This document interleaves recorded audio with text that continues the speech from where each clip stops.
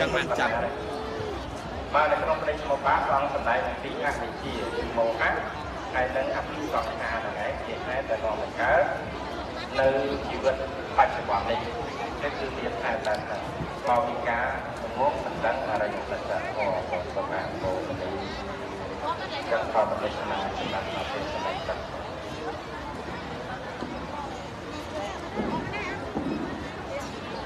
អ្នកខាង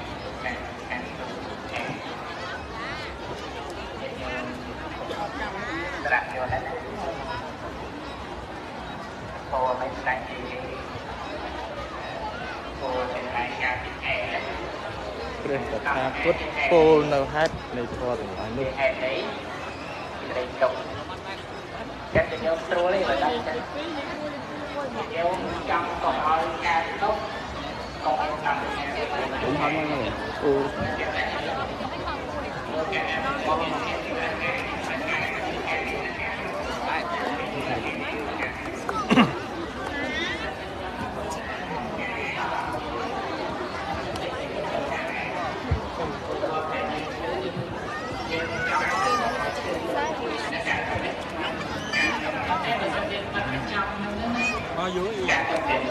អត់ទេហើយយើងកាត់ចាប់ទៅនោះកាត់ទៅទៅនោះកាត់ទុកចាប់ឲ្យប្តីល្អតែពេលប្តីអត់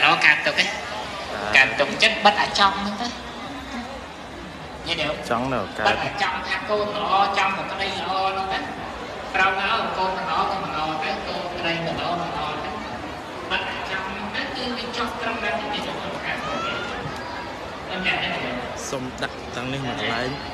បាត់តែចង់ហ្នឹងហើយចង់ឯខ្លះទៀតមិនគិតទេនេះហ្នឹងហើយអឺចង់រឿងអីក៏ដោយវាស្រេចតែយើងគិតតែគឺចង់ចេះចង់ចង់ចាប់ឲ្យទីនេះចេះទៅចាប់ឲ្យរឿងចុះទៅហើយដល់ពេលនេះអត់ចឹងទេអាហ្នឹងយើងការសុខទៅមិនចឹងណាចឹងបាត់តែការចង់យើងទៅដូចទេខ្លះគ្រូរៀនគេដល់ចង់ឲ្យកូនសិស្សចឹងហ្នឹងអាហ្នឹងការទៅដែរ ឲ្យកូនសិស្សអត់ចេះហ្នឹងគេចាំឲ្យកូនសិស្សខំប្រឹងរៀនដល់ពេលកូនសិស្សជឿរៀនការទៅដែរតែដល់ភាសាភាសាចង់ចឹងសរុបសេចក្តីសង្ខេបណាក្នុងគោលគោលហ្នឹងបានន័យថាបើញាតិញោមមិនចង់ឲ្យជីវិតយើងជួបទុកទេត្រូវព្យាយាមកាត់នៅចំណងរបស់យើងចឹងណាចំណងអីក៏ដែរគឺព្យាយាមកាត់ឲ្យបានច្រើន នៅពេលណាដែលយើងអស់ចំណងការចង់នេះចង់នេះទៅសេចក្តីទុកឯកើតតាមគឺអត់អត់សូវមានសូមអនុមោទនីតែតែជាបន្តទៀតសូមអរគុណនិមន្តអង្គគ្រូគួរឈិនជាណាគ្រូវិន័យក៏បានកម្លែងក៏បានអភិធម្មក៏បានដែរតែសូមអរគុណនិមន្តក៏បានជា15នាទីដែរសូមអរគុណនិមន្ត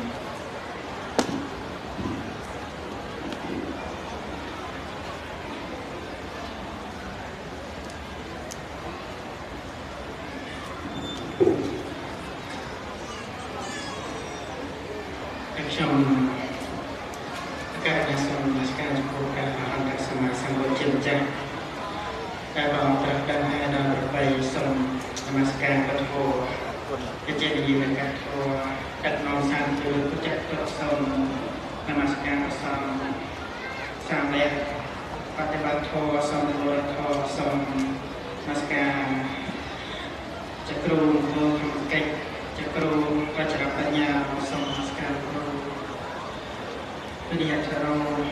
ជាអង្គជាក្នុងទីនេះសូមអមស្ការព្រះរានុធារគ្រប់ព្រះអង្គអឺចម្រើនពរញាតិញោមទាំងអស់គ្នាក៏អឺឯនេះខ្ញុំជឿចំចូលទៅក្នុងគុណរបស់ព្រះសម្មាសម្ពុទ្ធដូចតែលោកគ្រូបានចូលលេះចង់ហើយចង់ចឹងថាបុ គ្គលណាដែលដែលបានដល់នៅព្រះសម្មាសម្ពុទ្ធជាទីពឹងទីរលឹកបុគ្គលហ្នឹងទៅអបាយភូមិណាបងអូបុគ្គលណាដែលដល់នៅព្រះសម្មាសម្ពុទ្ធជាទីពឹងទីរលឹកបុគ្គលហ្នឹងមិនមិនទៅកាន់អបាយភូមិទេទាំងអស់គ្នារាល់ថ្ងៃ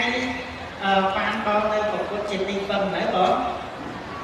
បានហើយអឺ ការដែលបងនៅព្រះសម្មាសម្ពុទ្ធជាទីពឹងយើងត្រូវធ្វើអ្វីកោមេសរណៈការដែលដល់ព្រះសម្មាសម្ពុទ្ធជាទីពឹងគឺដល់តាមចេតនាប្រព្រឹត្តទៅតាមផ្លូវចិត្តតែម្ដងណាបងដាក់តន់ណាតែប្ររពគុណព្រះសម្មាសម្ពុទ្ធជាអារម្មណ៍មានសទ្ធាជឿទៅលើគុណរបស់ព្រះសម្មាសម្ពុទ្ធ តែទាំងអស់គ្នាដែលអ្វីដែលយើងមិនសូវបានចាប់អារម្មណ៍គឺតែយើងសម្រាប់ទៀនសុំតែម្ដងអឺឲ្យតែថ្ងៃស្រួលយើងនាំគ្នាទៅធ្វើអីបងសមាទានសមាទានសោតែអ្វីដែលសំខាន់មិនមិនមិនចាញ់សោនឹងផងគឺការដែលបោព្រះសម្មាសម្ពុទ្ធជាទីពឹងនឹងឯងបងមុននឹងយើងសមាទានសោយើងសូត្រខាងម៉េចពុទ្ធធាំសក្ករណាំកេឆានិ ធម្មមាំសក្ករណាំកេឆានិសង្ឃាំសក្ករណាំកេឆានិតែប៉ុន្តែយើងត្រូវតែចាំការថ្ងៃនោះគឺយើងប្រកាសការតនៅព្រះសម្មាសម្ពុទ្ធជាទីពឹងទីរលឹកដល់វធជាទីពឹងទីរលឹកដល់នៅព្រះសង្ឃជាទីពឹងទីរលឹក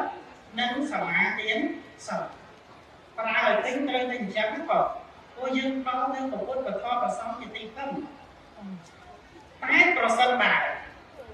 ប្រសិនបើមកវិញបើសិនជាយើងសូត្របានតែមាត់ទេពុទ្ធាំសារណាកេឆាមិធម្មនាងសារណាកេឆាមិតែចិត្តយើងហ្នឹងអត់មានសទ្ធាបរុគុណព្រះអង្គជាអារម្មណ៍ទេតែឈ្មោះថាតងនៅពុទ្ធជាទីពឹងណាអត់ឈ្មោះទេត្រូវទេបងឥឡូវខ្ញុំនិយាយអំពីអឺប្រធានបទហ្នឹងនិយាយអំពី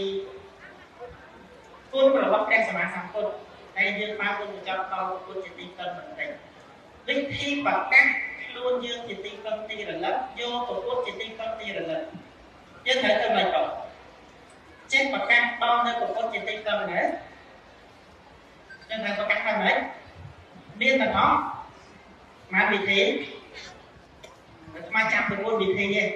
តែទៅកម្មនឹង4និង5នេះតែអាត្មាចាំ4វិធី វិធីទី1សូត្រមកអមាញ់វិញចឹងការដែលយើងដល់ព្រះសម្មាសម្ពុទ្ធរត់គុណព្រះអង្គជាអារម្មណ៍ហើយសូត្រថាម៉េចពុទ្ធាំសក្ករណាំកេឆាមិធម្មមាំសក្ករណាំកេឆាមិសង្ឃាំសក្ករណាំកេឆាមិការប្រកាសបែបហ្នឹងគឺឈ្មោះថាយកព្រះពុទ្ធជាទីពឹងទីរលឹកចុះបើយើងមិនបានសូត្រដល់ចំយ៉ាងទេ មានវិធីទៀតប្រកាសខ្លួនថាជាសាស្ត្រារបស់របស់ខ្ញុំប្រកាសណាសូមបីតែយើងប្រកាសខ្លួនឯងថាជាកូនសិស្សប្រកាសព្រះសម្មាសម្ពុទ្ធថាជាគ្រូនឹងក៏ជាការតនៅត្រៃសរណគមដែរកាត់តដែរបងចុះបើសិនជាយើងមិនបានប្រកាសយកព្រះសម្មាសម្ពុទ្ធជាគ្រូមិនបានប្រកាសខ្លួនយើងថាជាកូនសិស្សមានវិធីអីទៀត វិធីទី3សូម្បីតែយើងអ្នកស្មាសកាគុណព្រះសម្មាសម្ពុទ្ធចឹងណាក៏យើងនមស្ការគុណព្រះអង្គខាងម៉េចព្រះសម្មាសម្ពុទ្ធអង្គឯណាទ្រង់លោកចម្រើនអាព្រះអនាបាននសតិកម្មដ្ឋាឬក៏ថាព្រះពុទ្ធជាទីពឹងជាគុំនឹងសពសាតាជាការនមស្ការគុណព្រះអង្គណាបង ការដែលយើងសូត្រនមស្ការគុណព្រះអង្គរលឹកទៅដល់គុណព្រះសម្មាសម្ពុទ្ធក្នុងពេលហ្នឹងក៏ឈ្មោះថាឈ្មោះតែឈ្មោះតែឈ្មោះតែដល់នៅព្រះសម្មាសម្ពុទ្ធជាទីពឹងទីរលឹកចំណុចទី4ចំក្រោយទេស្ដាប់ធម៌ស្ដាប់ពាក្យទូមានព្រៀនប្រដៅរបស់ព្រះសម្មាសម្ពុទ្ធ បងប្រកាសសម្ដែងទឹកនាំសត្វពលរៀនមិនបងប្រកាសសម្ដែងទូមានឲ្យមានសល់ឲ្យមានសមាធិយកធម៌ដែលព្រះអង្គបានប្រកាសសម្ដែងហ្នឹងយកមកបដិបត្តិបដិបត្តិតាមស្រាប់តើនេះបងសូម្បីតែយើងមិនបានសូត្រគុណព្រះអង្គសូម្បីមិនបានប្រកាសខ្លួនថាជាគុណសិនត្រឹមតែព្រះសម្មាសម្ពុទ្ធព្រះអង្គប្រកាសសម្ដែងធម៌អប់រំហើយយើងយកធម៌ទាំងអស់ហ្នឹងយកមកបដិបត្តិតាមធ្វើតាម អប់រំចិត្តតាមអ្វីដែលព្រះអង្គសម្ដែងទៅនឹងក៏ឈ្មោះថាមានព្រះសម្មាសម្ពុទ្ធជាទីពឹងនៃររលឹកអឺឥឡូវចូលប្រធានបទវិញអអឺខ្ញុំចូលជាម្ដងអរគុណអឺប្រធានអត់ចង់ឲ្យយើងពិចារណាគុណរបស់ព្រះសម្មាសម្ពុទ្ធថាព្រះអង្គមានកករណាគុណចំពោះសត្វ សត្វលោកថ្ងៃនេះគឺជាថ្ងៃអីបងមាកកបូជាមានកាបូបូជាប្ររពហេតុជាកិច្ចណាយកហេតុ3យ៉ាងជាថ្ងៃដែលព្រះអង្គសម្ដែងអវតៈបាទេមកជាថ្ងៃដែលព្រះសម្មាសម្ពុទ្ធដាក់ទៅជននាមីយុសង្សង្ខារអញ្ចឹងយើងឆ្លងកម្មមិត្ត của ព្រះសម្មាសម្ពុទ្ធប្រងដាក់ទៅជននាមីយុសង្ខារតើមានអរតនីព្រះអង្គប្រមាណដងមានដឹងទេបង 3ដងការប្រតិទម្លាប់ដែលព្រះសម្មាសម្ពុទ្ធព្រះអង្គព្រមដាក់ព្រះជន្មាយុសង្ខារមាននឹងមកអរតនីព្រះសម្មាសម្ពុទ្ធតាំងពីព្រះអង្គទើបតែត្រាស់ដឹងថ្មីថ្មីនេះបងត្រាស់ដឹងថ្មីថ្មី7សប្តាហ៍ក្រោយមកគឺមានមកអរតនីព្រះសម្មាសម្ពុទ្ធតែម្ដងអរតនីខាងនេះក៏បងពិតព្រះដ៏មានប្រទានសូមព្រះអង្គបរិសទានទៅបងពិតព្រះសពុទ្ធសូមព្រះអង្គបរិស ព្រះប្រទានទៅសូមឲ្យព្រះសម្មាសម្ពុទ្ធបរិបទានតែព្រះអង្គព្រមទេបងពេលព្រះអង្គទៅតែត្រាស់ដឹងអ្វីអ្វីស្ដីព្រះអង្គបានព្រមទេហើយនៅក្នុងសេចក្តីពធមានចូលតាមព្រះអង្គទៅរតនីព្រះអង្គយូរយូរដល់ណាបងដល់ណាតែព្រះអង្គព្រមអត់អត់ព្រមទេតែនៅក្នុងថ្ងៃនេះក៏បូជា វស្សាទី80របស់ព្រះសម្មាសម្ពុទ្ធជាការអារតនីព្រះសម្មាសម្ពុទ្ធចំក្រោយសង្ឃហើយព្រះអង្គព្រមអត់ព្រម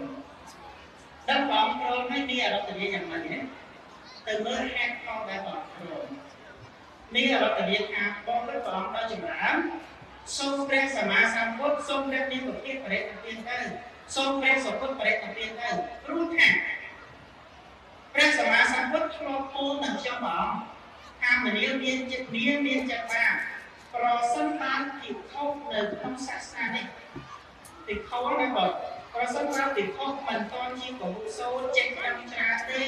ប្រសិនបានពិភពមិនតន់អាចមានសមត្ថភាពប្រកាសសម្ដែងធម៌ល្អទេប្រសិនបានពិភពមិនតន់បដិបត្តិធម៌ត្រូវការធម៌បដិបត្តិបានដោយល្អទេ ប្រសិនបានពិភពមិនអាចគ្របសង្កត់នៅបរិបទរៀនពីចោលចូលនៅក្នុងសាសនានេះបានទេព្រះអង្គអត់បរិបទទានទេអញ្ចឹងការដែលព្រះអង្គទ្រង់ចូលរបៀបហ្នឹងព្រះប្រព្រឹត្តទៅដើម្បីប្រយោជន៍យ៉ាងណាសាវកទាំងអស់គ្នាហ្នឹងឯងព្រោះបងខាងបើពិភពមិនទាន់ចេះធម៌មិនទាន់បដិបត្តិល្អបដិបត្តិខ្លួននេះព្រះអង្គប្រែរបៀបនេះហើយផលទី2មានការបងព្រះអង្គដល់ចម្រើនសូមព្រះអង្គប្រែរបៀបទៅព្រោះព្រះអង្គ ព្រះអង្គថាបើពិភពនៃទី2ពិភពនៃណាបងបើសិនបើពិភពនៃមិនទាន់ជាពហុសូចេះដឹងច្រើនទេពិភពនៃមិនទាន់បដិបត្តិល្អបដិបត្តិត្រូវទេពិភពនៃនឹងមិនទាន់អាចសម្ដែងធម៌ចែកធម៌ឲ្យយល់បានរងានឹងទេពិភពនៃនឹងមិនអាចគ្រប់សង្កត់នៅបរិបទនេះបានទេអត់អត់ប្រេតទៀតទេមានថាឥឡូវនេះជាការអសរគុណនេះអូនថាពិភពនេះសុទ្ធតែចេះដឹងអស់បដិបត្តិត្រូវបដិបត្តិល្អហើយ ហេតុផលទី3វាយករូបាសពមកជាហេតុយ៉ាងណាព្រះអង្គឆ្លងត្រាស់នឹងខ្ញុំព្រះអង្គថាប្រសិនបើឧបាសកអឺទាំងអស់គ្នាចាំស្ដាប់ទៅណាបងឧបាសកឧបាសកនេះព្រះអង្គថាប្រសិនបើឧបាសកមិនទាន់ចេះដឹងច្រើនទេប្រសិនបើឧបាសកមិនទាន់បដិបត្តិល្អបដិបត្តិត្រូវទេប្រសិនបើឧបាសកមិនទាន់ចេះសម្ដែងធម៌ចែកធម៌បានងាយ អាចស្ដាប់យកបានដោយងាយបានទេបើសិនបើឧបាសកមិនទាន់បានទ្រង់សង្កត់នៅបរិបទរៀនពាក្យចោលសួរក្នុងពុទ្ធសាសនាបានទេព្រះអង្គអត់បរិបទរៀនទេអញ្ចឹងព្រះអង្គបរិបទរៀនលោកខ្លាំងណាស់តែឧបាសកនៅក្នុងពុទ្ធសាសនានេះយល់ដឹងធម៌បានល្អបដិបត្តិបានបានល្អគឺព្រះអង្គព្រមបរិបទរៀនមិនមែនតែឧបាសកទេឧបាសិកាក៏ដូចក៏ដូចគ្នាដែរ តោះតែឧបាសិកាយល់ដឹងធម៌បានច្បាស់ល្អបដិបត្តិត្រូវអាចសម្ដែងធម៌ចែកធម៌បានងាយយល់នឹងទៅទៀតអាចត្រឹមសង្កត់នៅបរិបទរៀនបានទៀតគឺព្រះអង្គព្រះនិព្វានចុងក្រោយនេះគឺព្រះអង្គយកទាំងមនុស្សទាំងទេវតាតែម្ដងណាបងប្រសិនបើមនុស្សលោកទេវលោកទេវតាទាំងឡាយហ្នឹងមិនទាន់បានយល់ទៅក្នុងធម៌ច្បាស់ទេមិនទាន់អាចចែកធម៌បានល្អទេមិនតបប្រតិបត្តិត្រូវទេក៏អត់ប្រេតទានទេ អញ្ចឹងសួរថាព្រះអង្គមិនព្រមប្រេតទានដោយសារអ្នកណាដោយសារពុទ្ធបរិស័ទទាំងអស់គ្នាហ្នឹងឯងបងចុងក្រោយនៅពេលដែលព្រះអង្គទទួលពីទានហ្នឹងដោយសារអីបរិស័ទទាំង4ពួកហ្នឹងអាចយល់ធម៌បានដោយល្អបរិស័ទទាំង4ពួកហ្នឹងបដិបត្តិបានដោយល្អអាចគ្រប់សង្កត់នៅបរមពុទ្ធបានអាចសំដែងធម៌ពន្យល់ធម៌តតគ្នាឲ្យយល់ឲ្យយល់បាន ទើបព្រះសម្មាសម្ពុទ្ធព្រះអង្គបរិទ្ធនៅនៅទានអញ្ចឹងនៅពេលដែលព្រះអង្គមិនព្រមបរិទ្ធទៅទានដើម្បីប្រកាសសម្ដែងធម៌ឲ្យយើងទាំងអស់គ្នាងាយយល់នេះតើយើងទាំងអស់គ្នាបានបានពធធម៌រវាងនៅដល់សពថ្ងៃតើយើងគួរសិក្សារៀនធម៌បន្តទេបងតើយើងគួរសិក្សារៀនធម៌បន្តអត់គួរគួរតែបដិបត្តិបន្តអត់គួរអញ្ចឹងយើងពិចារណាគុណនឹងថាព្រះអង្គមិនព្រមបរិទ្ធទានដោយសារអនុគ្រោះបរិស័ទយើងនឹងឯងអញ្ចឹងយើងសម្លឹងគុណត្រង់ចំណុចហ្នឹងព្យាយាមរៀនធម៌បដិបត្តិបដិបត្តិធម៌សូមអនុមោទនាមួយចំណុចទៀត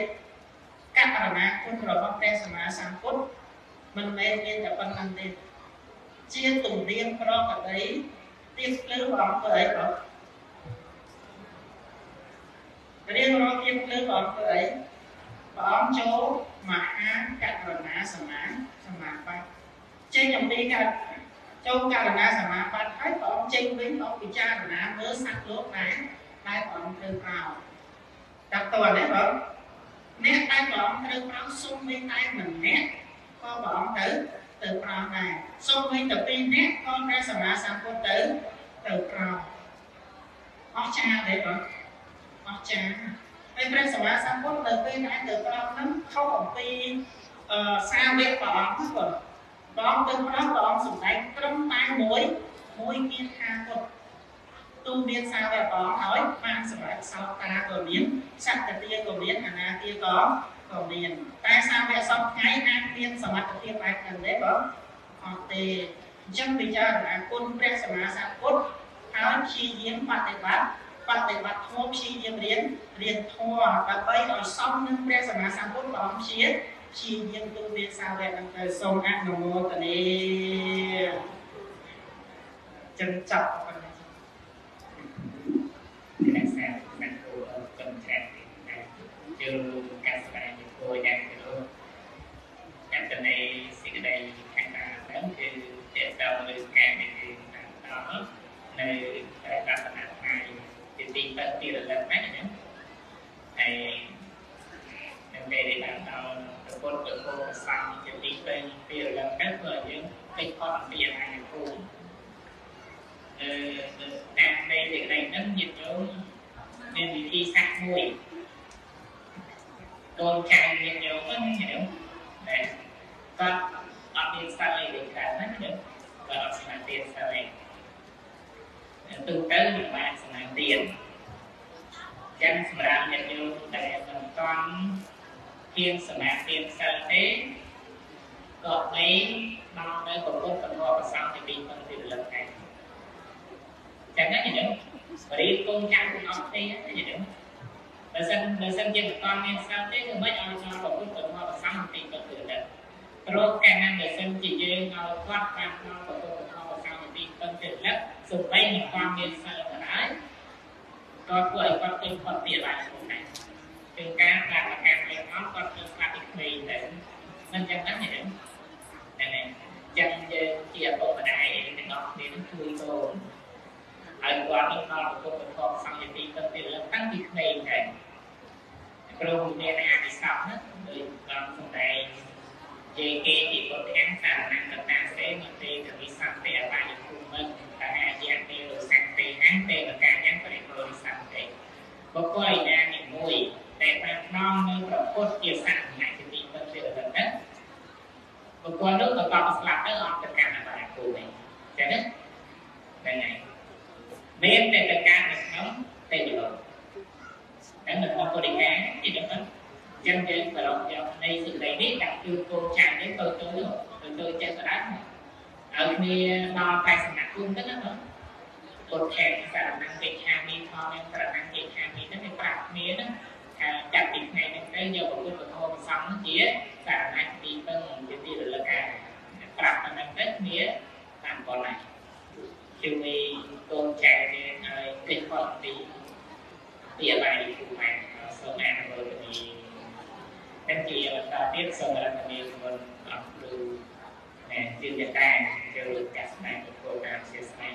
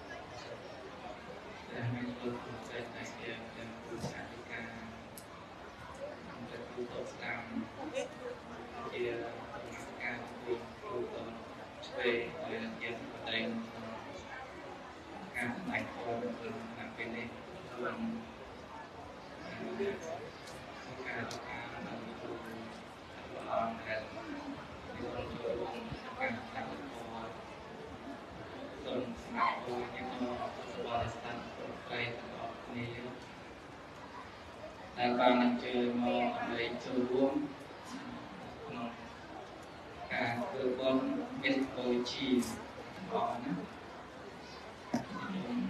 ដល់មកពីណាច្រើនទៀតដែលឃើញស្គាល់ដល់បាននេះតែខ្ញុំខ្ញុំថ្ងៃនេះមកច្រើន មកច្រើនគឺតាំងចិត្តដើម្បីធ្វើបុណ្យបូជាចំពោះព្រះគុណដែលព្រះអង្គមានគុណដល់ធំធេងអាចវាស់ស្ទង់បានហើយនៅក្នុងថ្ងៃនេះផងដែរគឺជាថ្ងៃដែលព្រះអង្គ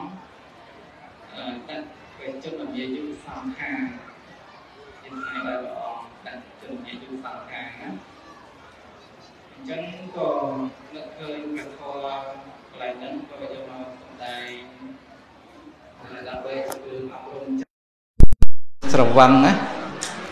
ស្រវឹងនៅក្នុងវ័យពីព្រោះសំបីព្រះសម្មាសម្ពុទ្ធព្រះអង្គជាបុគ្គលដ៏ប្រសើររកបុគ្គលណាមួយមិនស្មើរកបុគ្គលណាមួយ ស្មើព្រះអង្គមិនមានសំបីជាព្រំសំបីជាទេវតាអ្នកណាក៏ដោយក៏មិនអាចស្មើនឹងព្រះអង្គទេ ក៏ប៉ុន្តែព្រះអង្គក៏ដល់ថ្ងៃដាក់ជនមានយុសង្ខារចុះតម្រាំញោមនេះញោមទាំងអស់គ្នាណាទាំងអាត្មាអីហ្នឹងតើនឹងរស់បានប្រហែលថ្ងៃទៀតទៅខ្ញុំញោមអត់គិតដាក់អាយុសង្ខារទេ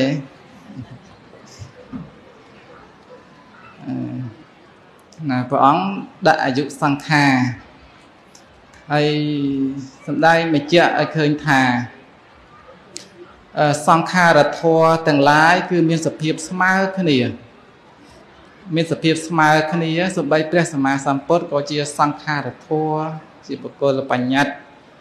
ហើយសូម្បីតែយើងនឹងក៏ជាសង្ខារធម៌របស់ណាដែលកើតឡើងហើយ គឺរបស់នឹងក៏ត្រូវតែវិនិច្ឆ័យប្រែប្រួលទៅវិញជាធម្មតា អត់មានអាណាកិច្ចរួចទេអត់មានអាណាគិតថាកើតឡើងហើយមិនចង់ស្លាប់គឺអត់បានទេតែកើតមកហើយត្រូវតែស្លាប់ណាតែកើតមកហើយត្រូវតែស្លាប់ទៅវិញណាជារឿងធម្មតាសាមញ្ញកុំឲ្យយើងគិតថាជារឿងដែលមិនគួរកើតជារឿងដែលមិនគួរកើតសោះចំពោះអាត្មាអញឬក៏បកគលជាទីស្រឡាញ់របស់អាត្មាអញគឺមិនគួរកើតទេត្រូវគិតថាជារឿងធម្មតាសម្រាប់សត្វដែលបានកើតឡើងមកហើយ ត្រូវតែវិនិច្ឆ័យបាត់បង់ទៅវិញជាធម្មតាទោះបីតែព្រះអង្គដែលជាបុគ្គលដែលរកបុគ្គលណាមួយឲ្យស្មើនឹងព្រះអង្គមិនមានហ្នឹងក៏ព្រះអង្គដាក់អាយុសង្ខារដែរហើយចុះតម្រំយើងនេះគឺជាបុគ្គលដែលមិនមានរិទ្ធមិនមានអីដូចជាព្រះអង្គទេតើនឹងអាចរស់នៅបានយូរប៉ុណ្ណាទៅនឹងបញ្ជាក់ឲ្យឃើញថាសង្ខារធัวគឺ ដែលបច្ច័យតតែងហើយគឺវាមានការប្រែប្រួលទៅជាធម្មតា វាដល់នៅសភាពមិនទៀងជាទុក្ខហើយនឹងជាអនត្តាអញ្ចឹងសង្ខារធัวមិនមែនតែចំពោះតែញាតញោមទេមិនមែនចំពោះតែអ្នកក្រមិនមែនចំពោះតែអ្នកមានមិនមែនចំពោះតែស្ដេចមិនមែនតែព្រះរាជាណានាទេ គឺឲ្យតែកើតឡើងមកហើយមានបច្ច័យតាក់តែងឲ្យកើតឡើងហើយ គឺ ត្រូវតែស្លាប់ទៅវិញជាធម្មតាបើសិនជាយើងគិតអំពីរឿងហ្នឹងទៅសត្វទាំងឡាយដែលមានការកើតឡើងមកហើយតែងតែស្លាប់ទៅវិញទៅតើយើងគិតតែទៅឆ្លោះប្រកែកជាមួយនឹងសត្វលោកណាទេអត់មានទេពីព្រោះសត្វលោកសិតតែជាមនុស្សដែលត្រូវរងគ្រោះត្រូវរងទុក្ខទាំងអស់តែគ្នាហ្នឹងត្រូវស្លាប់ទាំងអស់តែគ្នាហ្នឹងអត់មានបុគ្គលណារួចផុតបានទេ សំបីតែបុគ្គលនោះជាអ្នកមានទ្រព្យសម្បត្តិច្រើនឬក៏អ្នកក្រឬក៏អ្នកធម្មតាក៏ដោយឬក៏ទេវតាព្រំក៏ដោយអ្នកទាំងអស់នោះក៏ត្រូវតែស្លាប់ជាធម្មតាបើយើងដឹងថាបុគ្គលទាំងអស់នោះ មានការស្លាប់ជាធម្មតាអញ្ចឹងទៅគឺធ្វើឲ្យចិត្តរបស់យើងនឹងទៅជាស្រាលមិនទៅជាប្រកាន់ជាមួយនឹងអ្នកដតីពីព្រោះគិតថា អ្នកដតីដែលយើងខឹងហ្នឹងมันយូរប្រហែលទេក៏ត្រូវស្លាប់ដែរហើយយើងជាអ្នកខឹងអ្នកដតីហ្នឹងក៏มันយូរប្រហែលក៏ត្រូវស្លាប់ដែរអ្នកចំណែនឈ្នានេះដល់គ្នានឹងគ្នាឬក៏ទៅជាកាប់សម្លាប់គ្នាទៅវិញទៅមកហ្នឹងតើមានបុគ្គលណាដែលអាចរស់នៅរហូតបានទេអត់ទេគឺត្រូវស្លាប់ទាំងអស់តែគ្នាហ្នឹងអញ្ចឹងបើសិនជាយើងហ្នឹងជាបុគ្គលដែលត្រូវស្លាប់ហើយអ្នកដតីហ្នឹងក៏ត្រូវជា ជាបុគ្គលដែលត្រូវស្លាប់ដូចតែគ្នាអញ្ចឹងយើងគួរតែមានចិត្តករណាចំពោះគ្នានឹងគ្នាពីព្រោះយើងហ្នឹងជាអ្នករងទុកដូចគ្នាជាអ្នកកើតមកត្រូវប្រទះនៅសេចក្តីទុកដូចគ្នាអត់មានបុគ្គលណាដែលកើតមកហើយហ្នឹងនៅសោយសុខអត់មានទុកទេអត់មានអត់មានទេណាសូម្បីតែព្រះសម្មាសម្ពុទ្ធក៏ព្រះអង្គមានសេចក្តីទុកដែរចុះតម្រាំយើងសត្វលោកទាំងអស់ហ្នឹងតើបុគ្គលណាមួយដែលថាมันមានទុកគឺមានទុកទាំងអស់ គ្រាន់តែបុគ្គលខ្លះមានធម៌អប់រំចិត្តទាំងទៅក៏អាទុកតាមសេចក្តីអាទុកតាមផ្លូវចិត្តហ្នឹងក៏វាមានសភាពស្រាលចឹងទៅប៉ុន្តែនៅទុកតាមផ្លូវកាយដែលជាផលរបស់កម្មណាអាទុកតាមផ្លូវកាយជាផលរបស់កម្មជាផលរបស់កម្មហ្នឹងมันអាចកែប្រែអីគឺមិនឲ្យកើតបានទេតែវាមានបច្ច័យឲ្យកើតឡើងគឺវាត្រូវតែកើតប៉ុន្តែទុកផ្លូវចិត្តយើងអាចមិនឲ្យកើតឡើងបានដោយការអប់រំចិត្តអញ្ចឹងសរុបសេចក្តីមកវិញថាបុគ្គលដែល បានកើតឡើងមកហើយសំបីជាសត្រូវរបស់យើងក្តីសំបីជាមិត្តសម្លាញ់សំបីបុគ្គលណាទាំងអស់គឺមានការកើតឡើងហើយមានសេចក្តីស្លាប់ទៅវិញជាធម្មតា យើងគួរតែមានចិត្តករណាសន្តោសបណីដល់គ្នានឹងគ្នាពីព្រោះសពសត្វទាំងឡាយទាំងអស់សពសត្វទាំងឡាយទាំងអស់គឺជាអារម្មណ៍របស់ព្រះតេយករណារបស់ព្រះមានប្រភិយទាំងអស់ ព្រះអង្គត្រាស់ដឹងមកហ្នឹងគឺដើម្បីអឺរកផ្លូវឲ្យសត្វទាំងឡាយហ្នឹងរួចផុតអំពីសេចក្តីទុក្ខទាំងអស់ហ្នឹងណាដែលសត្វទាំងឡាយហ្នឹងមានសេចក្តីទុក្ខហើយប៉ុន្តែមិនដឹងថារកផ្លូវណាដើម្បីឲ្យរួចពីសេចក្តីទុក្ខបានសត្វទាំងឡាយដែលកើតមកហើយហ្នឹងបើសិនជាអត់មានព្រះសម្មាសម្ពុទ្ធព្រះអង្គត្រាស់ដឹងនៅក្នុងលោកទេមិនដឹងថាសត្វទាំងឡាយហ្នឹងត្រូវរងទុក្ខលំបាកប៉ុណ្ណាទៅទេហើយ ចឹងហើយបានជាព្រះអង្គហ្នឹងត្រូវកសាងសន្សំបារមីហើយមានសត្វទាំងឡាយហ្នឹងជាអារម្មណ៍មានសត្វទាំងឡាយដែលកំពុងតែមានទុក្ខនោះកើតចាស់ឈឺស្លាប់មិនមានឈប់មិនមានឈរនោះត្រូវស្លាប់ហើយត្រូវត្រូវកើតទុកនៅក្នុងអបាយភូមិទៅកើតទុកក្នុងអបាយទៅតើយើងជាបុគ្គលអភ័ព្វបណ្ណាទៅគឺអភ័ព្វបំផុតហើយនៅក្នុងโลกហ្នឹងណាប៉ុន្តែញាតិញោមនេះគឺជាអ្នកដែលមាន បារមីដ៏ច្រើនហើយបានអាចកើតតន់សម័យដែលមានព្រះសម្មាសម្ពុទ្ធព្រះអង្គទ្រង់ត្រាស់ដឹងសំបីតែព្រះអង្គទ្រង់ប្រេតនិព្វានក៏ដោយក៏ប៉ុន្តែយើងមានធម៌មានវិន័យមានសទ្ធា មានអវយវៈមិនមិនតន់ឈឺមិនតន់ពិការអីហ្នឹងគឺអាចបំពេញព្យាយាមបាន អាចបំពេញប្រតិបត្តិព្យាយាមដើម្បីឲ្យរួចផុតអំពីសេចក្តីទុក្ខបានកុំឲ្យជាប់ចម្ពាក់នៅក្នុងអារម្មណ៍ដែលជា រូបសម្លេងក្លិនរសផតពៈធម្មអារម្មណ៍ដែលជាវត្ថុកាមហ្នឹងបើកាលណាដែលយើងជាប់ជាមួយនឹងអារម្មណ៍ទាំងអស់ហ្នឹងឈ្មោះថាយើងហ្នឹងជាប់ជាមួយនឹងទុក្ខយើងត្រេកអរជាមួយនឹងរូបត្រេកអរជាមួយនឹងវត្ថុកាមត្រេកអរជាមួយនឹងវេទនាសញ្ញាសង្ខារវិញ្ញាណហ្នឹងឈ្មោះថាជាការត្រេកអរនៅក្នុងទុក្ខអញ្ចឹងបើបុគ្គលនោះត្រេកអរនៅក្នុងទុក្ខបុគ្គលនោះឈ្មោះថាមិនរួចផុតចាកទុក្ខទេ អញ្ចឹងនៅតែរងទុក្ខក្នុងសង្សារវដ្តហ្នឹងជាបន្តទៅទៀតទៅអាហ្នឹងណា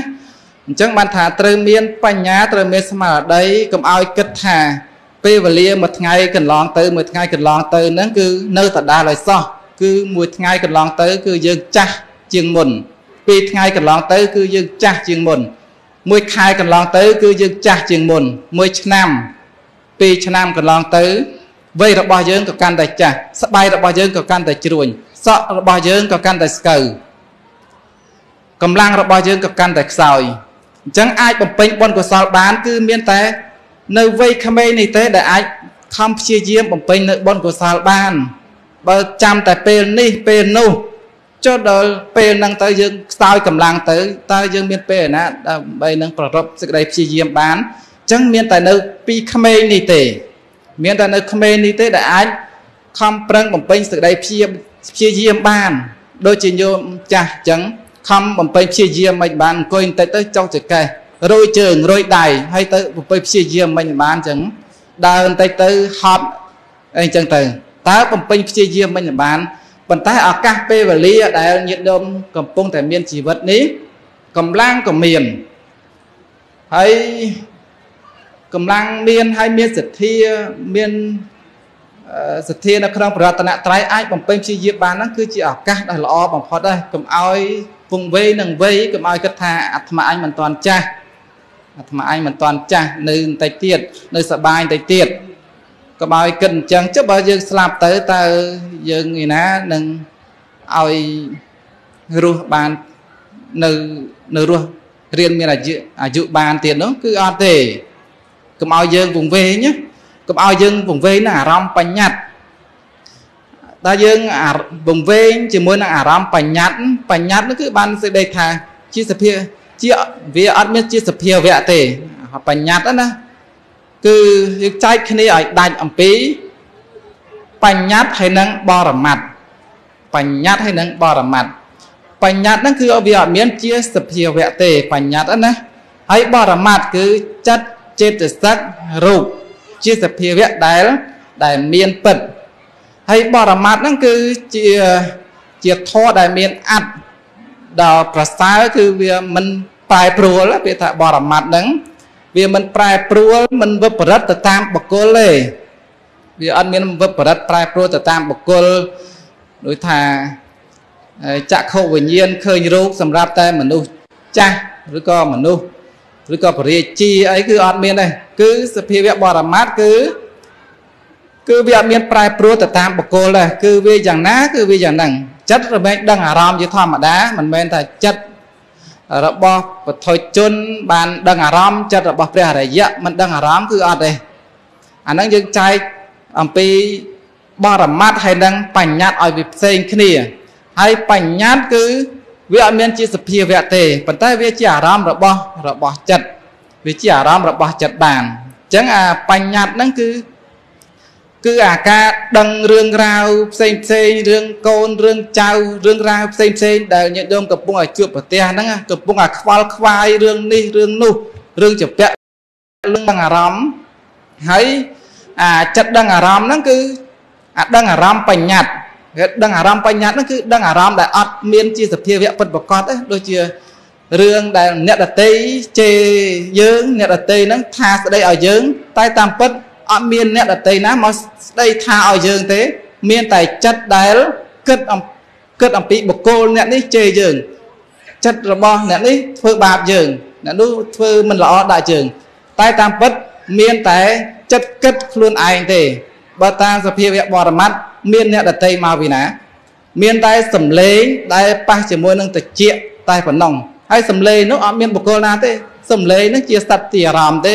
ជារូបបរមត្តអត់មានបុគ្គលណាផងហ្នឹងអត់មានអ្នកដតីណាទាំងអស់គ្រាន់តែជាសំឡេងជារូបប៉ុន្តែអាសំឡេងហ្នឹងវាមកប៉ះជាមួយនឹងត្រជាហើយវាប៉ះមកជាមួយនឹងត្រជាទៅវាធ្វើឲ្យវិថីចិត្តហ្នឹងវាកន្លងច្រើនគណៈក៏ដឹងថាអ្នកដតីនេះជេរជេរយើង អ្នកដតីនេះធ្វើមិនល្អដាក់យើងអឺជេរស្ដីបកគលជាទីស្រឡាញ់ឬក៏ធ្វើអ្វីមិនល្អដាក់យើងយើងត្រូវតែខឹងបកគលនោះអញ្ចឹងបានន័យថាយើងខឹងបុគ្គលដែលមិនមានផងហ្នឹងអញ្ចឹងយើងរាល់ថ្ងៃហ្នឹងដូចជាអឺខឹងសំលេងរាល់ថ្ងៃយើងគឺថាអ្នកដតីជេរយើងអញ្ចឹងទៅយើងត្រូវខឹងបុគ្គលនោះហើយ ហើយថាពិតបុគ្គលនោះគឺអត់មានជាសភាវៈបរមត្តទេបុគ្គលនោះគឺជាបញ្ញត្តិគឺជាអារម្មណ៍របស់ចិត្តតែប៉ុណ្្នឹងទេវាអត់មានជាសភាវៈបរមត្តឲ្យយើងត្រូវប្រកែប្រកាន់អ្នកដតីទេ តែតាមពិតមានតែអកុសលវិបាកដែលកើតតាមសោតទ្វាតែប៉ុណ្ណោះមានតែអកុសលវិបាកដែលកើតឡើងអ្នកដតីនោះគឺអត់មានទេអត់មានបុគ្គលអ្នកដតីទេណាមានតែសំលេងហើយ សោតវិញ្ញាណដែលដឹងអារម្មណ៍នោះមានតែកុសលមានមានតែអកុសលវិបាកដែលដឹងនៅអារម្មណ៍នោះតែប៉ុណ្ណោះហើយអារម្មណ៍នោះជាជាបរមត្តទៀតអារម្មណ៍ជាបច្ចុប្បន្នហើយបរមត្តទៀតប៉ុន្តែដោយសារតែចិត្តរបស់យើងនៅក្នុងមโนវិញ្ញាណនេះវាដឹងអារម្មណ៍បញ្ញត្តិថាមានអ្នកដតីហ្នឹងថាស្ដីឲ្យយើងអញ្ចឹងយើងនឹងត្រូវតែខឹងបុគ្គលនោះអញ្ចឹងបើយើងខឹងបុគ្គលនោះឈ្មោះថាខឹងរបស់ដែលមិនមាន ខឹងរបស់ដែលមិនមានដូចជាមិនមិនល្អហ្នឹងមែនទេដូចជាញោមទៅខឹងបុគ្គលណាថាស្ដីឲ្យយើងបុគ្គលនោះវាអត់មានឲ្យសភាវៈទេគ្រាន់តែជាបញ្ញត្តិជាការដឹងអារម្មណ៍តាមមโนទ្វាដឹងអារម្មណ៍បញ្ញត្តិតែប៉ុណ្ណោះវាអត់មានជាសភាវៈអីទាំងអស់អញ្ចឹងអឺសរុបមកវិញបានន័យថាបញ្ញត្តិហើយនឹងបរមត្តហ្នឹងគឺវាមានសភាពផ្សេងគ្នា បរមត្តគឺវាមានចិត្តចេតសិករូបដែលវាអត់មានវិបរិតប្រែប្រួលទៅតាមបុគ្គលណាទេហើយបញ្ញត្តិគឺជាសភាវៈដែលមិនមានប្រកបគឺជាអាការៈដែលធ្វើឲ្យយើងដឹងផ្សេងផ្សេងគ្នា ដឹងថាបុគ្គលនេះកូនចៅប្តីប្រពន្ធមាសប្រាក់ទាំងអស់ហ្នឹងធ្វើឲ្យយើងខ្វល់ខ្វាយជាមួយនឹងអារម្មណ៍ដែលមិនមានហ្នឹងធ្វើឲ្យខ្វល់មែនទែនឬក៏ ធ្វើឲ្យប្រកាន់ខ្លួនអត្តភាពខណ្ឌ5នេះណាធ្វើឲ្យប្រកាន់ថាជារបស់ខ្លួនឯងទៅធ្វើឲ្យខ្លួនឯងនឹងរវល់មួយជាតិនឹងរវល់គ្មានបានធ្វើបន់ធ្វើទានអីទេរវល់បំរើតែខ្លួនឯងហ្នឹងបំរើខ្លួនឯងហ្នឹងបំរើយ៉ាងម៉េចបំរើត្រូវផ្គប់ផ្គុនខ្លួនឯងចង់ឲ្យតែអ្នកដតីនឹងសរសើរអ្នកដតីនឹងជេរស្ដីអត់បានទេ បើអ្នកដតីជេរស្ដីមកត្រូវខឹងពីព្រោះប្រកាន់តែខ្លួនរបស់ខ្លួននេះគឺមានពិតប្រកបណាតែតាមពិតមានតែចិត្តចេតសិករូបដែលនៅក្នុងអត្តភាពរាងកាយរបស់ញាតិញោមនេះណាមានត្រឹមតែចិត្តចេតសិករូបហ្នឹងខណ្ឌ5ហ្នឹងអត់មានអត់មានខ្លួនយើងនៅក្នុងខណ្ឌ5នេះទេមានតែចិត្តចេតសិករូបតែប៉ុណ្ណឹងប៉ុន្តែដោយសារតែមានអវិជ្ជាមានតណ្ហាប្រអឺ ប្រកាន់ថាខ្លួនឯងមានអញ្ចឹងទៅក៏ត្រូវរវល់រវល់រវល់តាំងពីខាតមកដល់ញាតិញោមរវល់អីខ្លះរវល់ដូចជាលីដុំថ្មពីលើក្បាលអញ្ចឹងវាត្រូវធ្ងន់ណាស់ហើយមិនប្រាប់ដាក់ដុំថ្មហ្នឹងទេ